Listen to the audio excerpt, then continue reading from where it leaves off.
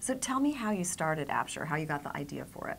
Sure. So uh, we were computer scientists at Stanford, and we were very interested uh, in how media and online publishing were changing. Um, news websites were so flat, so one-dimensional, and you visit a, a news article, and the only thing you can do is read it, click on a link, and go to the next page. And you know, we're sitting here with the richest communication medium we've ever had, and we just thought there's there's got to be more to this. And we had these really inspiring conversations at the uh, the graduate student uh, dorm hall, where we um, uh, basically got beers and French fries and just talked through these different ideas, and uh, uh, came up with what we thought was a new version of how to present information. So we built uh, a JavaScript ability to display rich multimedia windows in context. So without leaving the page, you click on a link and you can open up a, a, video or a map or a slideshow or a document. It just all appears in these miniature uh, browser windows.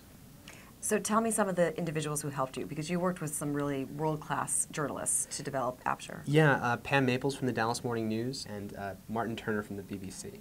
Um, and those were the two who really uh, helped us the most and, and really introduced us to our first publishing contacts in the industry.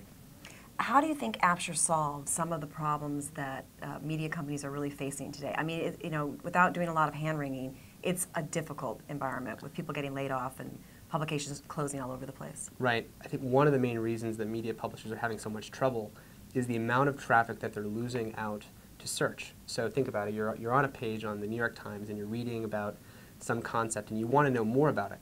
Well, if the New York Times doesn't answer your question, if you're going to go to search for it, if we can help the publishers by letting them integrate all those answers into their site so that you don't have to leave, suddenly they're retaining their readership. So what we're trying to do is build a set of tools that you know, expand the um, dimensions in which they can give you answers and tell the story and be the guide while not sending the readers away from their site. Imagine if we could take you know, the New York Times entire video library and leverage it on every single article. And you can't do that if you have a small, limited amount of space.